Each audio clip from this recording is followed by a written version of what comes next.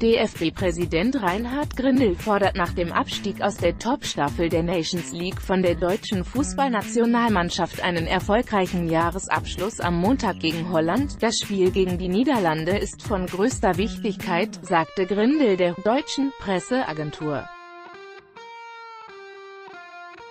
Wir wollen bei der Auslosung zur EM-Qualifikation auf jeden Fall in Topf 1 landen, betonte der Verbandschef.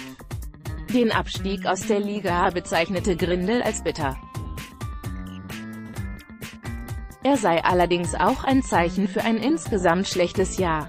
Bei einer Niederlage gegen Holland in Gelsenkirchen droht der DFB 11 bei der Auslosung für die EM-Qualifikation die Eingruppierung in den Lostopf 2 und damit ein starker Kontrahent auf dem Weg zum Turnier 2020.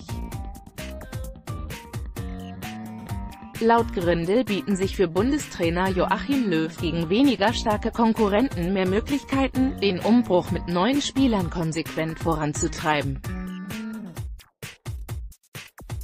Derzeit liegt das DFB-Team in dem Sets-Ranking auf Platz 11. Nur die besten 10 Teams kommen bei der Auslosung am 2. Dezember in Dublin in den besten Topf.